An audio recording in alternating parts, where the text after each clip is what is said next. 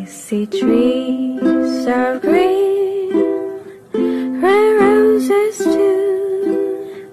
I see them bloom for me and for you.